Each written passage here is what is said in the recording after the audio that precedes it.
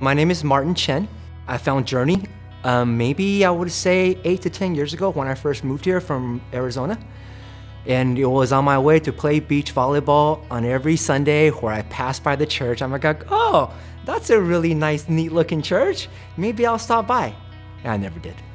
Growing up, um, Buddhist household, my mom practiced, prayed, had her own, her own shrine.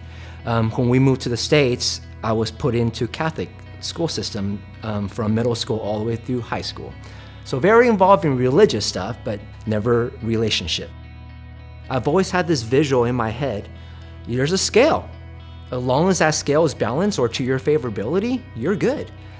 I put myself through school. I did this. I made all these accomplishments myself. I got this. As long as I put the work in, he, I'm gonna be right with him. Man, how foolish was I? There was a question that was asked at one of Jason's sermons that really shifted my focus to him.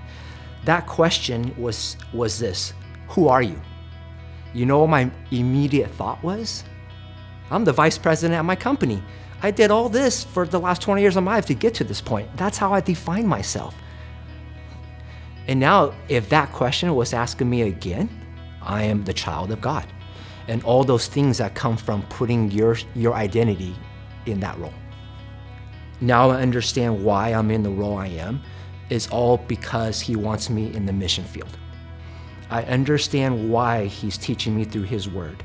I understand why every day he calls me to read his word and why the Holy Spirit convicts me when I don't go to his word, right?